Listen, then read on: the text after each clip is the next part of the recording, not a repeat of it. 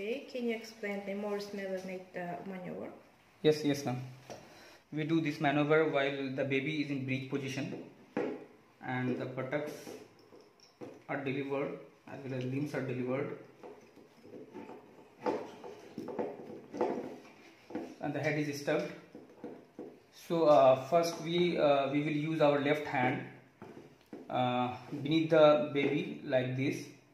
We have to uh, put my le left hand and uh, and the limbs uh, should be on the uh, hanging uh, hanging on the both the sides. And we will use our uh, index finger and uh, middle finger to the malar prominence or to the cheeks.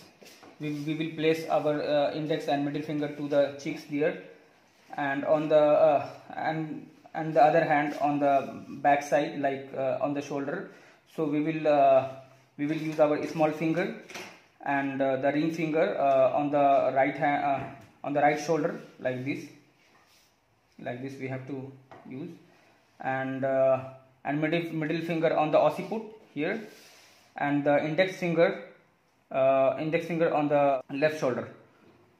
And with the right hand uh, we do some traction. And with the left hand we uh, flex the head like this like this. Okay and thus delivery of the fetus occurs